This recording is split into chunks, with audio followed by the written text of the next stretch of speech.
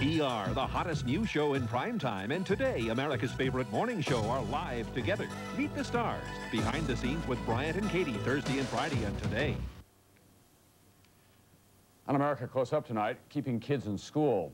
There were three and a half million high school dropouts in 1991 alone. That's a problem for the kids and for the country.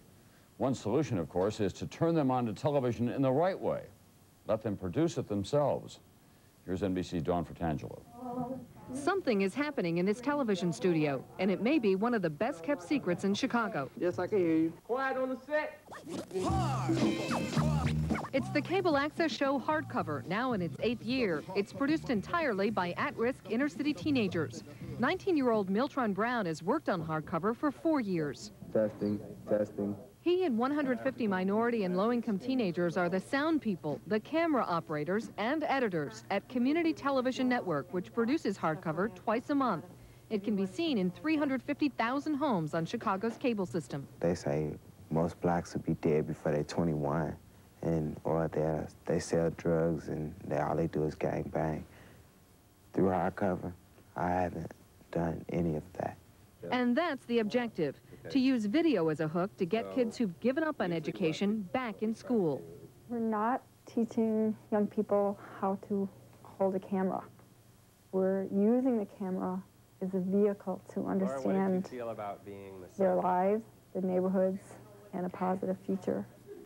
Teacher Denise Zaccardi created the program, which cost $190,000 a year to operate.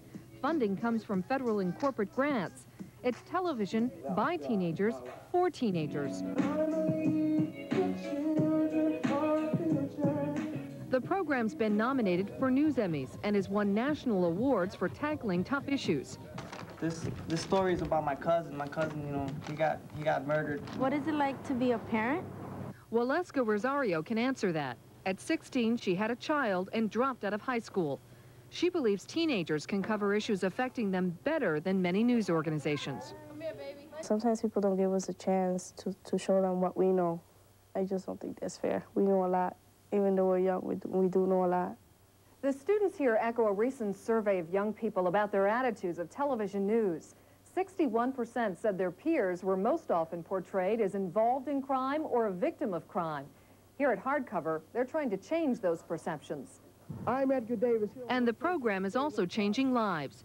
After five years with Hardcover, Edgar Davis has his GED and is now a music student at a local college. I'm more focused now as an individual. You know, I know what I want um, out of myself and, and what I expect out of other people. Miltron Brown is also getting focused. The program's counselors are helping him find a job. And you're looking for part-time? Full. Full-time. I gotta go. I'm late already. And Waleska has a lofty goal. Try to save up some money so I can go to college. And uh, my goal with that is uh, going to law school. We better get rolling. Through the years, 2,000 Chicago teenagers have worked on Hardcover, which is now broadcast in Philadelphia and will soon air in Oakland. A camera made them see things differently. A microphone has given them a voice. You need to have a lot of patience. For America Close Up, Dawn Fratangelo, NBC News, Chicago. Something else on television live this morning.